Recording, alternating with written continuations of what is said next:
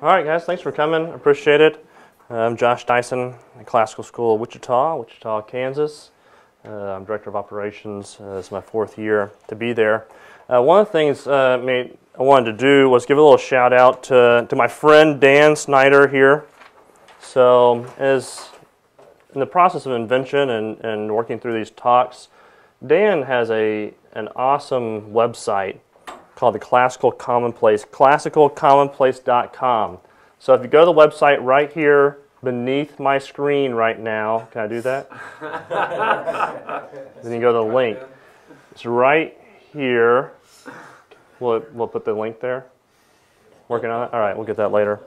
ClassicalCommonplace.com is an amazing site. All anything you need for rhetoric and then beyond. It's unbelievable what he's put together um, there. I know when I search five common topics, it's one of the first three you know, on Google that comes up. So this is this is Dan right here. Check out his website. It's uh, an incredible piece.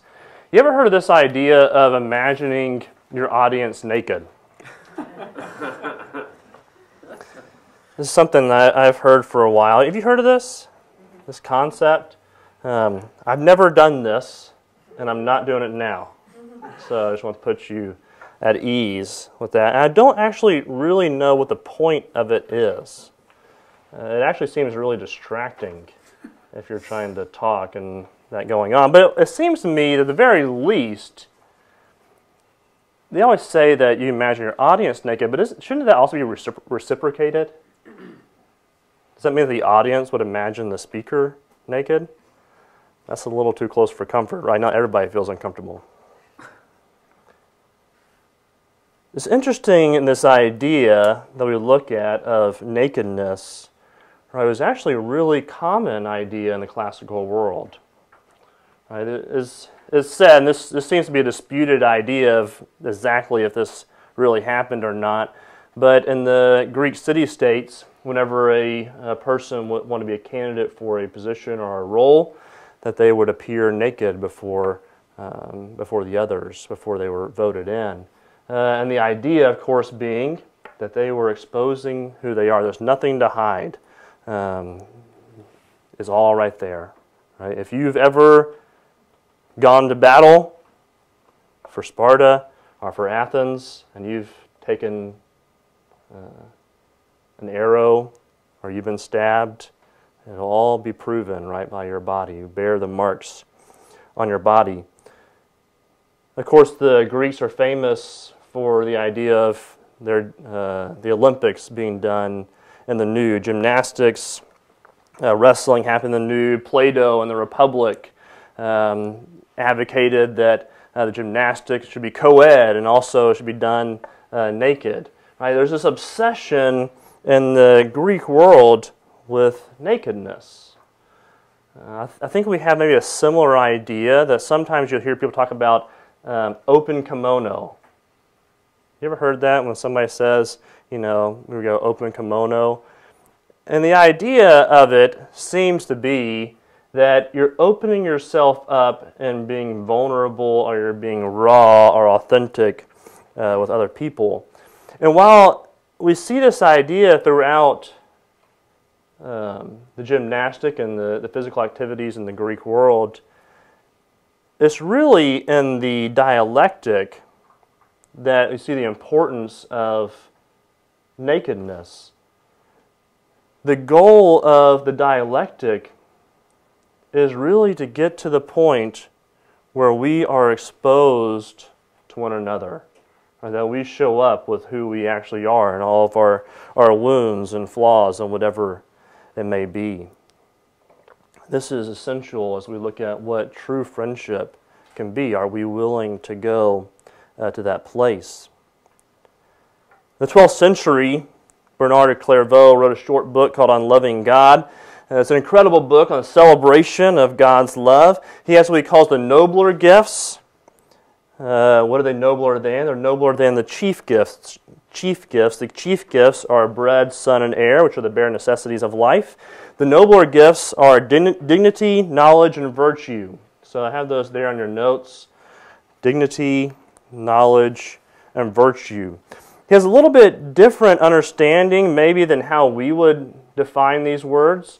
So here are his operational definitions, and this is how I want it to function. It can be a little bit confusing, especially made with virtue that um, is understood differently in the classical world. But dignity refers to the free will and domination over animals. So people have the, the gift of dignity. The gift of knowledge refers to recognition of that, of that dignity and seeing that it is not from ourselves. So the true source of the dignity is God our Maker. And then virtue refers to seeking after the Maker and adhering to Him. As we look into the purposes of friendship in the classical world, I'll present these three gifts as a rubric for understanding the kinds of friendship. As we consider friendship, uh, according to Aristotle, Plato, and Augustine, uh, we'll take this rubric and we're going to see that dignity is going to relate to Aristotle's understanding of friendship, knowledge going to relate to Plato's understanding of friendship, and Augustine um, will be to virtue and his understanding of friendship. Have you ever noticed that in the church we don't talk about friendship very much? So I did a, a Google search to try to find, you know, where what are the places that we see friendship talked about. And one of the, one of the areas that probably comes closest to friendship is things like small groups or cell groups that are done in church. So I went to a website. It's called communicatejesus.com. Uh, I don't know anything about the site, but they have a little link there 16 names for church midweek groups. Right? Ironically, there are 17 listed. I don't know what to make of that. Here they are. Number one, groups, city groups, life groups, small groups, redemption communities, home groups, cell groups, fusion groups, life change groups, family groups, connect groups, community groups, growth groups, Bible study groups, pastorates, missional communities, and fight clubs. Those are your options if you want to go to church and be part of a small group. Right? Probably a lot of us are part of groups that go by those names. But what's interesting is what's missing from that list. None have anything to do with friendship. Why is friendship on hard times in the church? We like all these other names. But friendship, something about friendship that um, we might have a little bit of an issue with. Perhaps it's been watered down too much by things like social media. Um, I think there's a lot of reasons for that. But anyways, when we look at friendship, Aristotle is kind of the place we go to to uh, come up with the basic three understandings of friendship. This is maybe the ones you're familiar with. The three kinds of friendship, according to Aristotle, are friendship of utility, friendship of pleasure, and friendship of goodness. Utility is essentially a business relationship. So I give you something, you give me something back. A pleasure is what we think of maybe as our high school and college relationships. You know, we go party together and have a good time, uh, but as soon as that time of life's over, we forget any of those people ever existed. But then, of course, friendship based on goodness is a true sharpening of each other, uh, of true growth. Here's what Aristotle says of the first two kind of utility and pleasure. He says, So when people love each other on the ground of utility, their affection is motivated by their own good. And when they love on the ground of pleasure, it is motivated by their own pleasures. That is, they love the other person not for what he is, but for what is useful or pleasant. Consequently, such friendships are easily dissolved if the parties do not continue to show the same kind of qualities, because if they cease to be pleasing or useful, the friendship comes to an end. This becomes part of our self examination, right? As we look at our, our friends, you know, are they, is this what our friendships primarily are? Is it a give and take thing? I give you this, you give me this back. Is it just I love I love being around that person because they make me laugh or I feel good when I'm around them? I get pleasure? Or is there something deeper to those? Look at the third kind of friendship, the friendship based on goodness. A common idea you see in the ancient world is to think of a close friend as a second self. And I have on your sheet there, the bottom half, uh, these quotes here. The first, Aristotle says, The good man feels toward his friend as he feels toward himself, because his friend is a second self to him. Interesting passage in Deuteronomy. In Deuteronomy 13, verse 6, it says, If your brother, the son of your mother, or your son or daughter, or the wife you embrace, or your friend who is as your soul, It's an interesting way of putting that, as your soul. Jonathan and David is probably the most famous of friendships in the Old Testament. Says, As soon as he had finished speaking to Saul, the soul of Jonathan was knit to the soul of David, and Jonathan loved him as his own soul. And Saul took him that day and would not let him return to his father's house. Then Jonathan made a covenant with David because he loved him as his own soul. What does our culture say about this relationship? It has to be homosexual. Right? They cannot conceive of two men having a friendship on this level. That's not romantic. I would dare say that in the church, if we read this and didn't know it was in the scripture, we might feel the same way. Right? We know that's the wrong answer, though. It makes us a little uncomfortable, some of this language. Augustine, upon the death of his friend, says, I was even more surprised that when he was dead, I was still alive, for he was my other self. Someone has well said of his friend, he was half my soul. I had felt that my soul and his soul were one soul and two bodies, and my life was to me a horror. I did not wish to live with only half myself, and perhaps the reason why I so feared death was that then the whole of my much loved friend would have died. These, these are amazing uh, comments that they're making about their, their friends, right? Uh, this, this unity of being. So you look at, you know, what marks this third kind of friendship is that above all else, this friendship is based on goodness. So as Aristotle says, the only, only the friendship of those who are good and similar in their goodness is perfect, and those who desire the good of their friends for their friend's sake that are most truly friends, because each loves the other for what he is and not for any incidental quality. And he continues a few pages later, this is the Nicomachean Ethics. It is persons of low character that are friends on the grounds of pleasure or utility, this being the similarity between them while the good are friends for each other's sake, because their bond is goodness. These latter, so those of pleasure or utility, are friends in the unqualified sense. The others are friends only incidentally. As, as believers, as Christ followers, we recognize that these kind of friendships are important, but are we developing these, these, this depth of friendship? and then we can think in our schools, right? Are students developing these depths of friendship? So, how are deep friendships developed? It's very simple for Aristotle. He says, in addition, friendships need time and intimacy. For as the saying goes, you cannot get to know each other until you've eaten the, the proverbial quantity of salt together. Yeah. Anybody know how much the proverbial quantity of salt is? Allegedly, it's about 14 gallons. So uh, I actually love salt, so that's why my friendships develop more quickly. Pretty simple. Time and intimacy. Uh, you just can't get away those things. 14 pounds of salt, right, that we've, we've taken in together. That means, that means a lot of eating together. A lot of time together. Another important caveat that Aristotle is that these friendships must be limited in number.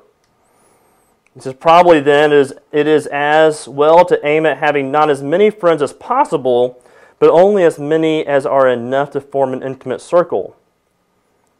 He continues, but it is not possible to have many friends whom we love for their own sake and for their goodness, we must be content to find a few of this, this quality. So we can't expect ourselves our students to have these kind of relationships with everyone in their class. Right? That's not that's not what we're talking about. That's not what our expectation is. Um, 16 kids together are not going to have this depth of relationships. It's unrealistic to expect that. This is something to think about in the church also. If our small groups are 12, 15, 20 people, is it really getting to that, that level of friendship, right? It still has to get, it still has to break down further uh, to smaller groups. What hinders these relationships? Aristotle says, besides, one has to get to know a man thoroughly and become intimate with him, which is extremely difficult. I think this is something that we all know. It is not easy to develop these friendships. I think the chief offender for us is busyness.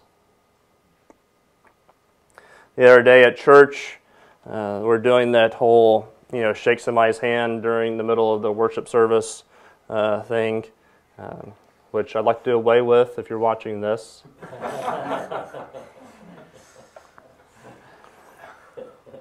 so I heard two guys uh, near me, and one of them says to the other, um, Hey, when are we going to get our families together?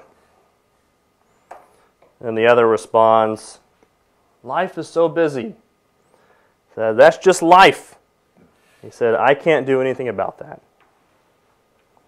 And that was a sad thing for me to hear that he thought that he was a victim, that he was, an, yeah, he was this innocent bystander that could do nothing about how busy his life had become uh, with all his kids' activities and all the things he was involved in, etc. Because the reality is we can do something about it. It saddens me to see that many of us, even in the classical education movement, use this excuse just as much as anyone. We have bought into the American lie that we don't have time, even though somehow we find plenty of time to stay up to date with This Is Us or our social media accounts or Trump's latest faux pas. As Americans, unlike the ancients, we view friendship as optional. It's nice to have when you can. It's an add on. The ancients, though, viewed it as essential and necessary for the virtuous life. If that's what our end goal is as classical education, educators, virtue, we should take that very seriously. Augustine says, In this world, two things are essential life and friendship. So both should be highly prized. We must not undervalue them. Life and friendship are nature's gifts. God created us that we might exist and live. This is life. But if we are not to remain solitary, there must be friendship. The other thing, of course, that uh, hinders our friendships is fear and shame. Right, how do we see fear hinder relationships? We hide ourselves.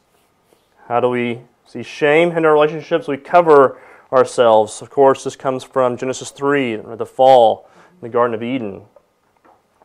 As a result of their sin, they experience fear and shame for the first time and they hide from God. And they try and cover themselves with their fig leaves.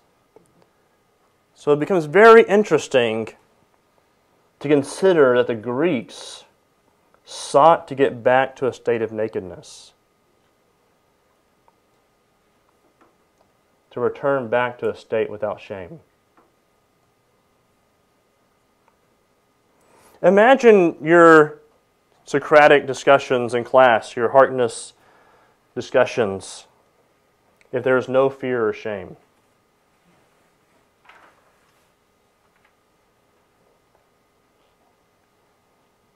No one is embarrassed to ask a question.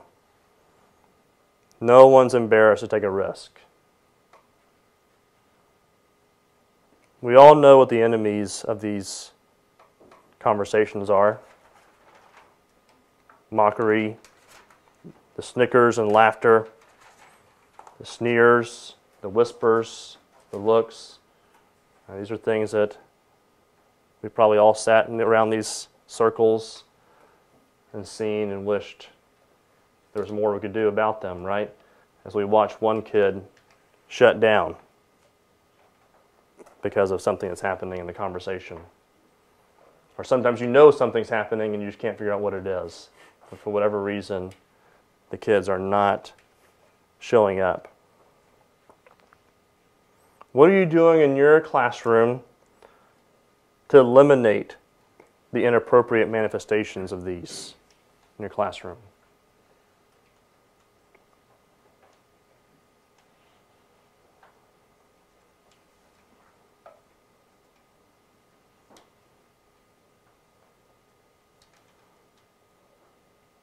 So as we move on now and to look at why is friendship so important for our students in our classical schools, we return back to Bernard, where we had that sheet to refer to. Dignity, of course, refers to free will and the domina- uh, domination over animals. Knowledge refers to recognition of that dig- dignity and seeing that it's not from ourselves. And virtue refers to the seeking after the Maker and adhering to Him.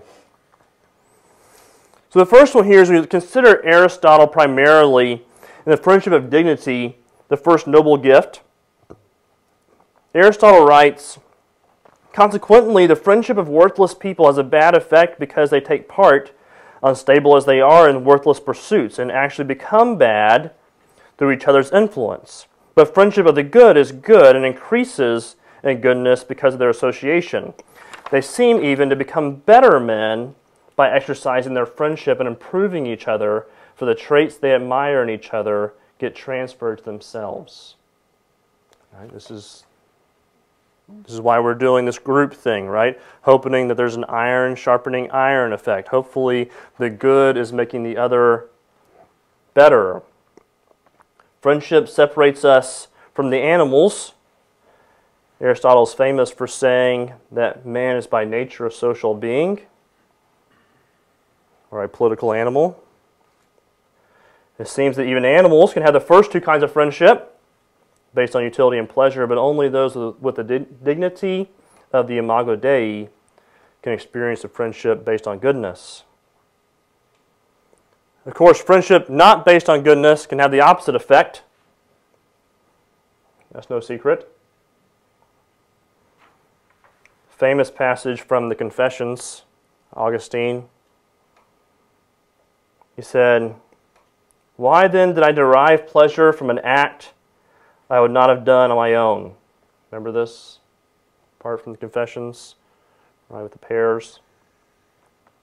Alone I would not have done it, could not conceivably have done it by myself. See before you, my God, the living memory of my soul. Alone I would not have committed that crime in which my pleasure lay not in what I was stealing, but in the act of theft.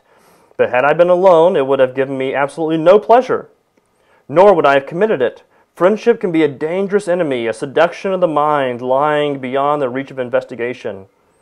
Out of a game and a jest came an avid desire to do injury and appetite to inflict loss on someone else without any motive on my part of personal gain, and no pleasure in settling a score. As soon as the words are spoken, let us go and do it. One is ashamed not to be shameless. I think if you worked with seventh, eighth grade boys, especially. One is ashamed not to be shameless. You know, the scripture warns us about such things and such associations and friendships. Paul says, do not associate fruitless work of, with, the, with the fruitless work of darkness. He also says, do not be wrongly matched with unbelievers.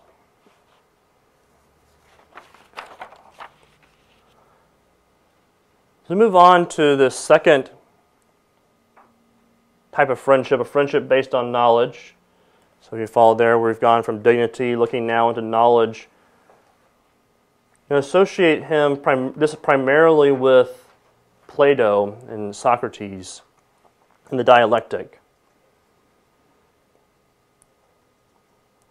So for knowledge, again, it's the recognition that the dignity we're just talking about is not from ourselves that has been given to us from something else.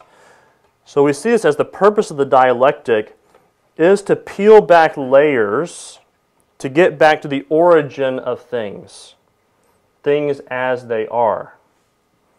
For Plato and Socrates, this meant getting back to the forms, right, to see above the line, if you remember the famous line analogy from the Republic. We're talking about nakedness a few times, right? Here's where we see this this ability to be open to receive and to give without fear and shame. And this is probably best seen in the Symposium, Plato Symposium. Who's read the Symposium? Excellent. So, I, I don't want to recommend the book. it's amazing in its own way. It's also highly disturbing. Um, so,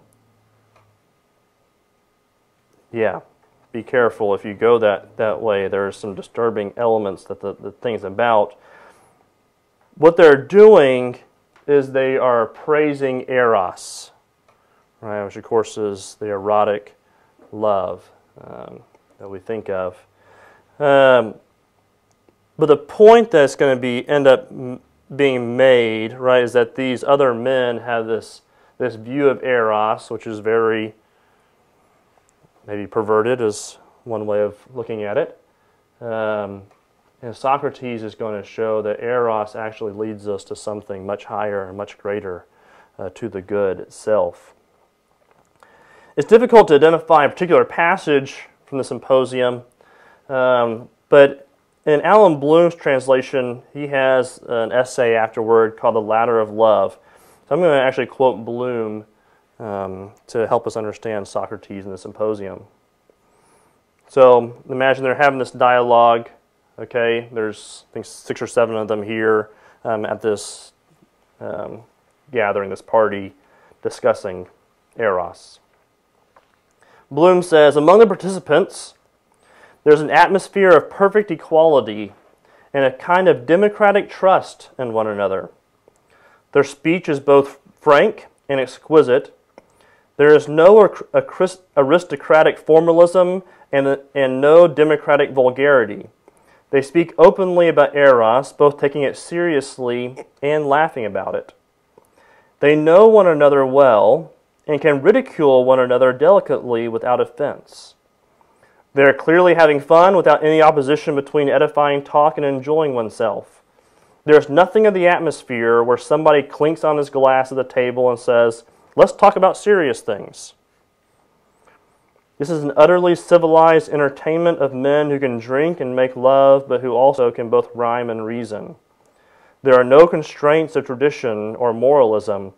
It is an association of friends, the substance of whose relations is speech. It would be very difficult to find another historical situation so favorable to this playful but philosophic friendship. And that's the great, the great value of reading a symposium. And, and if you can take it, take it on that level, to see these men were friends. Adamantly, dare say violently, disagreed with one another, especially because one of them is Aristophanes, who, in some ways, Socrates would credit with being the reason he gets killed. Um, but their candidness that they have with one another and ability to speak freely is an amazing thing. Of course, the word symposium literally means drink together. All right, so, of course, this wasn't the craziest party. The craziest party was the night before in the symposium. So Socrates waits for the next not so crazy party to come to. Um, but Bloom makes an interesting comment about the consumption of alcohol at the gathering. He says the evolution of the word symposium from this Greek association with its drunken revelers telling one another what they care about most to the symposiums of sober, of sober modern scholars with their scientific detachment is most instructive. Right, we see such radical differences between these men who were having a great time being together, talking about these deep things while making jokes at the same time, to now what we consider the serious conversations are very stoic, right? And everybody is very scientific in how they present things, and everything has to follow a certain format. Uh, we've come a long ways. What I think part of the concern in the classical movement that I have is which of those are we going for? There does seem to be an element a lot of times where classical education seems to be synonymous with this very uptight kind of everything's put together thing, right? Not saying that's the way things are, but that can be an association that people have. Or are we encouraging them to be part of conversations with friends where they can open up and be themselves? So it's interesting as Socrates, though Socrates was drinking, Alcibiades says, no human being has ever seen Socrates drunk. So all these men, yet Socrates, while he is still participating, maintains his sober state of mind. Despite our views on alcohol, I think it is worth considering what is holding us back from opening ourselves up.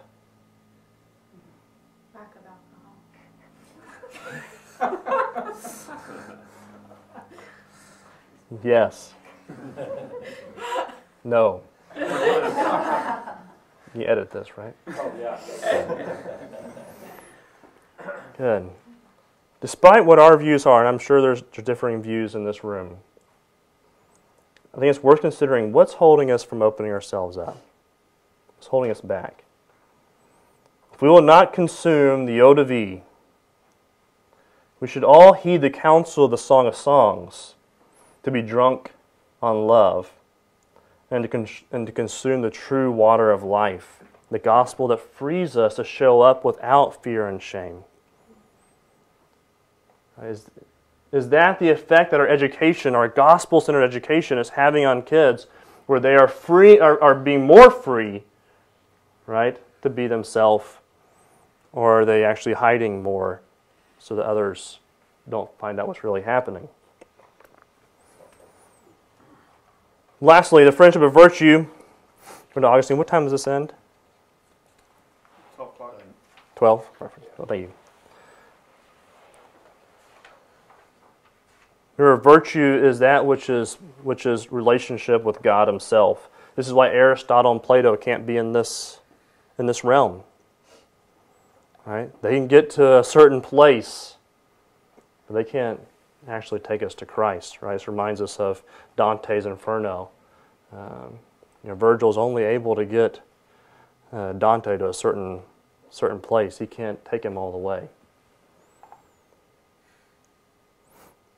So look at it. Friendship pointing. Um, our friendships point to friendship with God. As Augustine is reflecting on this friend dying again, he says, "You took the man from this life when our friendship had scarcely completed a year." It had been sweet to me beyond all the sweetness of life that I'd experienced.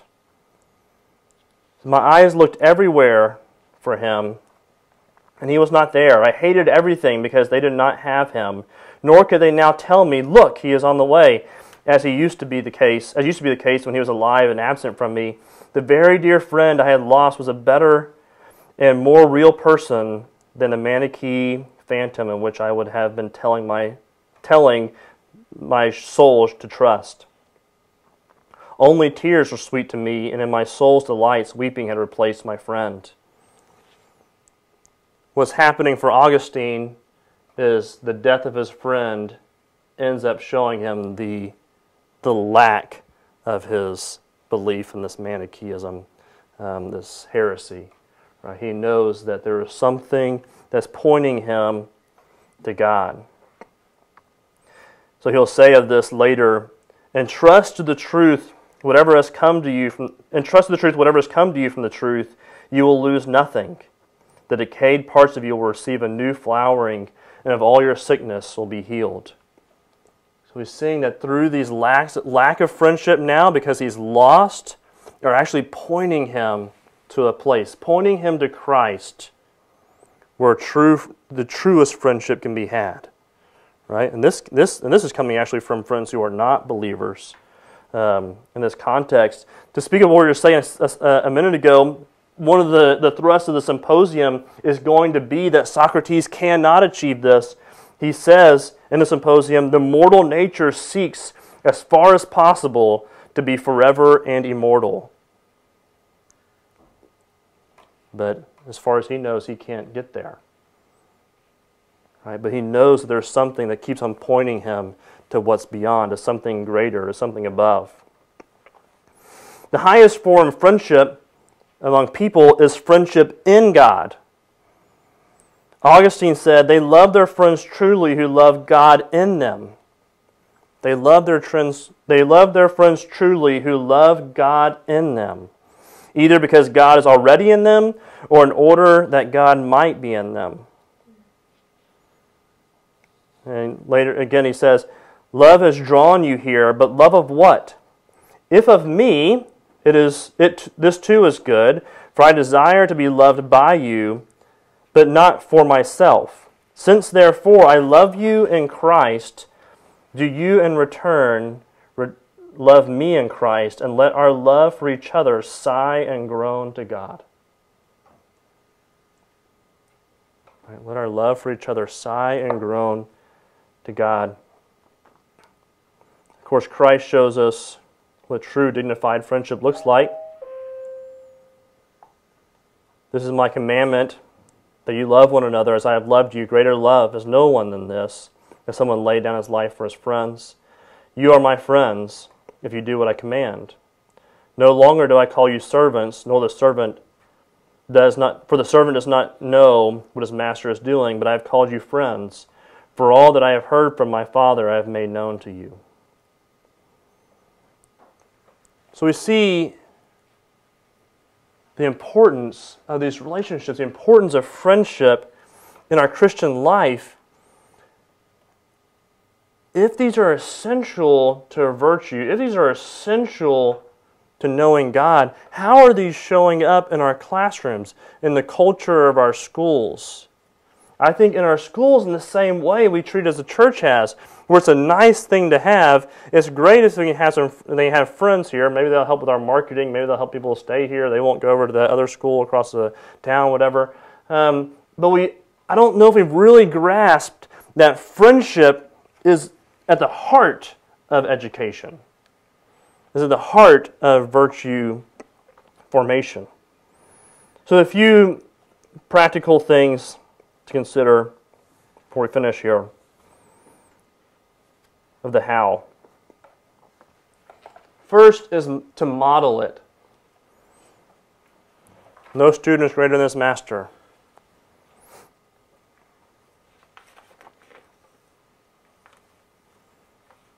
Have we modeled a culture of friendship? This is, this is the thing that I love about my school more than anything. Hands down, number one thing is the culture of the faculty. There's truly a, a friendship culture. That we love to be together, right, most of the time. Except we're in a car together for five hours and then we're ready to get out. We have fun. We, we enjoy going places together. We enjoy going to conferences together. We enjoy, you know, at, the, at, the, at lunch, the faculty comes and they all sit together and they carry on the conversations that have been happening in, uh, in classrooms or the things they've been reading. Right? I think that our students see that our, our teachers actually enjoy friendship, right? And it, and it really is, I think, at the heart of, of what we've done in a school and any success that we've had is based on the faculty's love for God and love for each other, which then transfers into love for students. Right? There's, the students can see Right? It's, it's caught more than it's taught. Right? They're seeing these men and women put this into practice. So let's celebrate friendships. Let's put this into practice in our own life. Let's counteract the culture of busyness. Listen to yourself over the next couple, next couple weeks. Do you hear yourself making the same kind of comments? I don't have time for this. And if so, why? What, what is it that you do have time for that's taking place of time with people?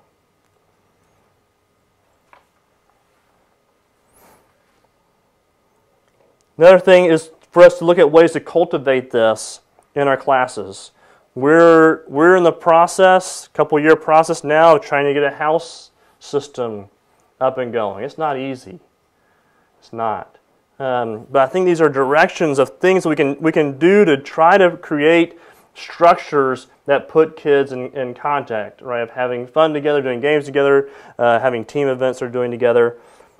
We don't do it uh, perfectly at all. We have a long way to go, um, but that's we're trying to commit to this thing for this purpose. Some of our, our classes that have the best cohesion have class parties that they throw themselves. Right? There's, there's one class in particular I think of that like they organize themselves to do a class party and they bring all the food and, and snacks and stuff. Are you encouraging that? Are you saying, hey, that's awesome? Yeah, go make go do the initiative. I know it's hard because sometimes they don't do the best job of making sure all these things are taken care of and their cleanup process isn't the best and they forget to get the spoons and the and the plates and so they come to the teacher resource room to get those things, um, which is not allowed at our school. Right? things like retreats, I think are great things. We've started doing uh, beginning of the year retreat uh, to do to build some of these things. I think we could do better. I'm sure some of you guys probably do some really great stuff. Maybe you go somewhere, maybe you do overnight things. Um, one of the best things we've done is actually probably our trips. So in 9th to 12th grade, uh, we go on a trip every year. We go to the East Coast. We're going to Boston, uh, Washington, D.C., New York. Uh, so on those five-night trips, there's cohesion that's, that's built, not only among students, but with faculty and students together. Sports, of course, are an incredible outlet for this. There's the danger of sports, probably more than any of this, to take our time away. I think there has to be some kind of, we need to be careful on that. But there's a there is something very valuable about them uh, if we can use them uh, properly. Uh, other competitive teams, right? Whether it's robotics, debate, uh, mock trial, those kind of things to help build unity as well. Group projects, eating together. We have the shortest lunch in probably all the schools here, so I can't say, but there's something to consider, right? Are we giving these kids a chance to eat together and enjoy together to celebrate. Then, lastly, are we talking about it? When it comes up, when you're reading Aristotle, when you're reading the Nicomachean Ethics, are you, are you honing in on the opportunity you have to do the practical application of friendship with these kids, right? As you know, it's all throughout, especially classical, the ancient literature um, of, of men and women um, who, are, who are friends or is that celebrated? You're reading the Lord of the Rings. Are we, are we celebrating that and saying, hey, this, this should be you? Are you doing this? Or how is this happening? I think part of this is a good reminder that are, are we wanting these kids to master the text that they're reading? Or are we truly putting them in a place to be mastered by the text? Uh, are we putting them where they think that they're over the text, or are we putting them under the text, right? That, that these things are changing them. I think most of us agree that that's what we want, but practically, when it's coming down the classroom, is that what's happening? I think friendship is an excellent case study there.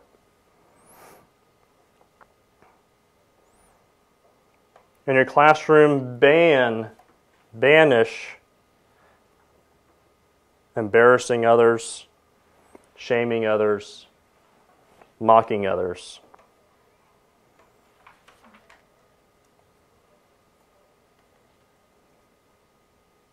I know this is hard because there's there's a there's a there's a time whenever there's a playful right element to it that those who are good friends can do this well and it's and it's fun.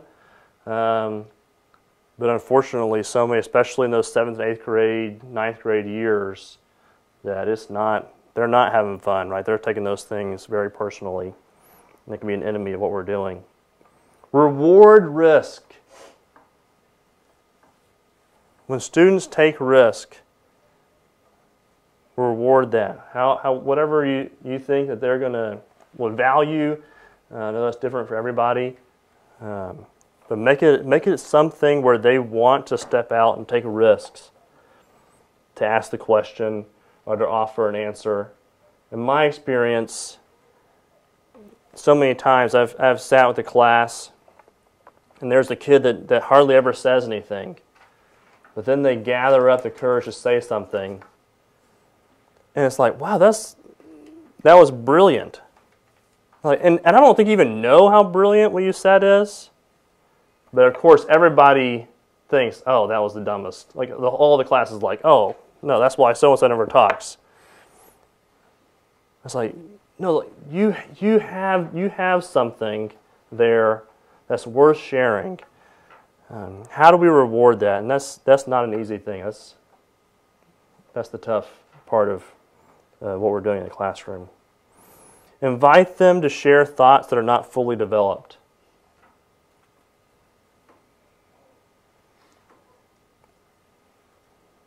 And that's part of the part of the dialectic is we've been talking on our, on our on our ride up here. A lot of the conversation was the difference between wanting to be right and seeking the truth. And students want to be right more often than anything. So they want to make sure that the answer they give is going to be the right answer when probably it would be better if they would go ahead and put out something that gives the opportunity to talk about it. That also means that we have to, we have to lead by example there.